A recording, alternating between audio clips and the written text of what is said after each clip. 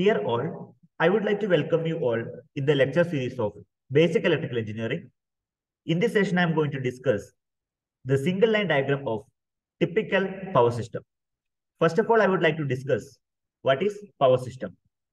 So power system is nothing but it is a group of uh, interconnected network uh, which comprises of number one power generation okay power generation. Uh, second one is called as power transmission. Power transmission. And the third one is known as power distribution. Power distribution. The combination of these three components are generally called as power system you may call it as grid also okay grid or power system okay all are interconnected fine so that is why it is known as power system Now, there is one uh, terminology called single line diagram. It is also known as SLD. What is single line diagram? So, in electrical engineering, single line diagram is a method to represent the entire system by using certain symbols. And it's just like a flow diagram. So, yeah, I'm going to discuss the importance of power system by using single line diagram. So, you can represent entire power system by using a single line diagram. Let, let us see how it is possible. Now everybody can see the single line diagram of typical power system on the screen. So you already know that power system is divided into power generation, power transmission, and power distribution. So first block is power generating station. The power generating station is the first component of power system. Usually, the examples of generating stations are hydro, then nuclear, then uh, steam thermal.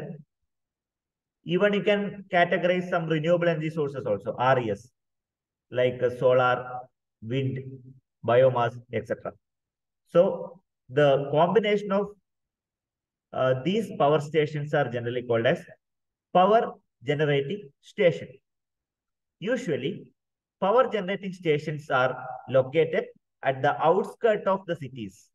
Okay, it's outskirt of the cities. Fine. Also, the generated voltage is restricted to around 11 kV in India because of economic considerations. Okay, econo econo economic reasons. Suppose if they need to increase more than 11 kV, more insulation and uh, more protective devices are required. Therefore, the generating voltage is restricted to 11 kV in India. Fine. Next part is belong to, the first part is over. So we have discussed about the generating station. The next segment is power transmission. I would like to talk about power transmission.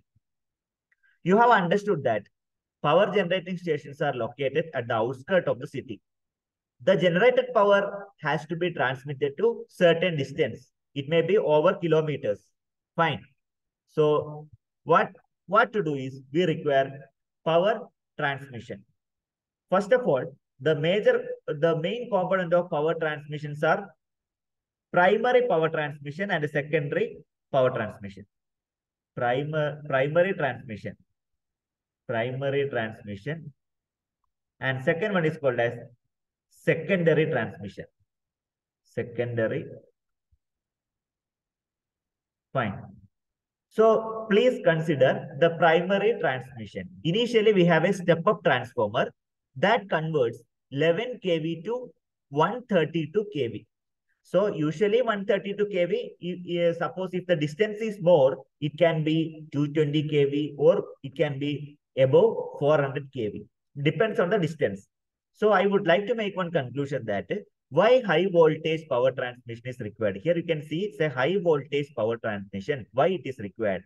So high voltage power transmission. So high voltage power transmission uh, is needed for minimizing the losses, minimizing the transmission line losses. We have to minimize the transmission line losses. Therefore, high voltage power transmission is always preferred. I prepared one video in high voltage engineering that why high voltage power transmission is required. I have derived some proof also. You can go through once. The link is available on the particular video I button. If the losses are reduced, obviously the transmission efficiency can be improvised. Therefore, high voltage power transmission is required. This is a first part of power transmission. See, it may be more than uh, 100 kilometers or 180 kilometers because the distance is more. So for long distance, you need to boost up the voltage. You need to increase the voltage. Fine. Suppose if I increase the current, what happens? Transmission losses will be taken place. So increasing the voltage is one of the convenient option here. That is why we have to increase the voltage. I hope you got my point. So it may run uh, certain kilometers, more than 200 to 300 kilometers. So uh, afterwards, the voltage has to be reduced for a certain level. Okay, because it is one it is a high voltage level because when it comes to near to the destination, uh, near to the customer side, voltage level has to be reduced. At the receiving end station, you can see nearby there is a step down transformer. What is the duty of the transformer? That converts 132 kV to 33 kV. So uh, it is in the order of the 33 kV, like 33, 33 kV or 66 kV, depends on the intensity you can reduce. So uh, then it fetch to a receiving station. Okay, fine. Receiving station. Here you can see different feeders. So these are representing different feeders, just like a feeder. You can say some some feeder kind uh, connections are available here. Again, uh, the transmission line starts moving on.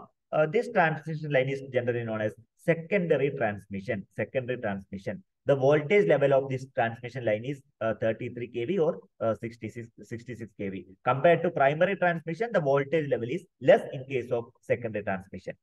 Now, uh, it may run for certain kilometers.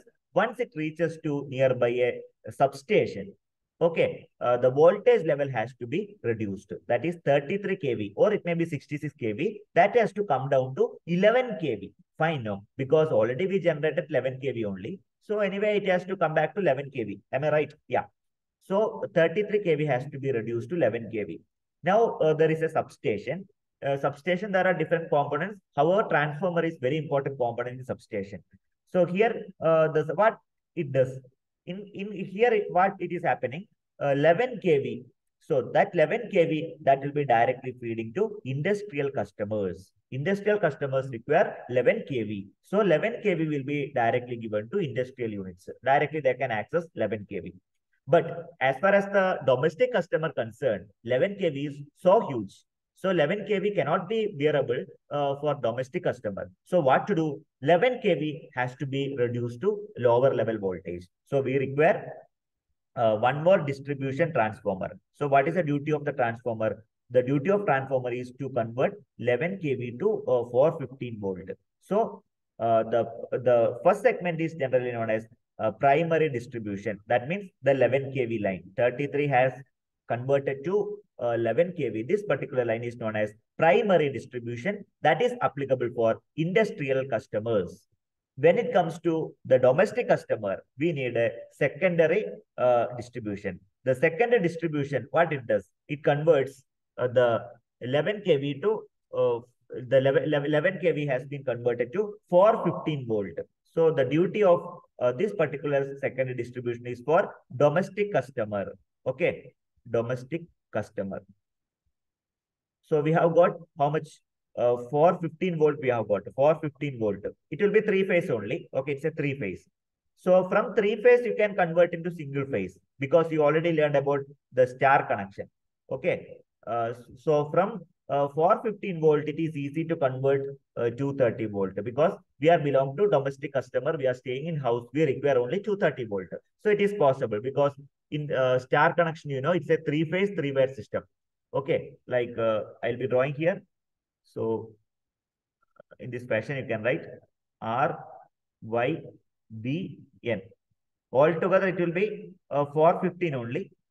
but I require 230 only. What to do? You take one, one, one line and you take another neutral point.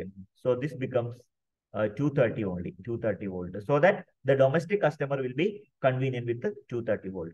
So these lines are called feeders. Can you see that? Different feeders are available. Feeders. It's a very important part of distribution. Okay, if you talk about distribution, feeders are very important.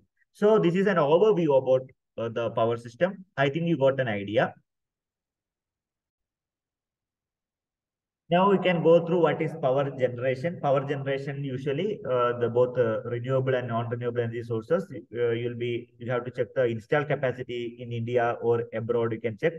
Uh, all generating stations are belong to power generating station. The voltage is limited to 11 kV because of uh, economic constraint, economic con uh, consideration. Now uh, let us talk about power transmission. So power transmission is a, a large network uh, which is divided into primary and secondary transmission. So uh, there are HVAC and HVDC transmission systems are available. So high voltage power transmissions are generally preferred to minimize the losses. Regarding the distribution, the main part of distributions are feeders. There are primary distribution and a secondary distribution. The primary distribution voltage level is 11 kV. It is applicable for industries, where the secondary distribution that is applicable for the domestic customer, it will be uh, 415 volt. Even you can convert 415 volt to 230 volt, which is convenient. I hope you got an overview about uh, electrical power system. Let me know if you are having any queries related to electrical power system. You may refer this kind of uh, these type of textbooks. Uh, you can refer. I have referred the following textbooks. You may refer similar kind of textbooks for gathering the information. Thank you so much for watching this video. Have a good day.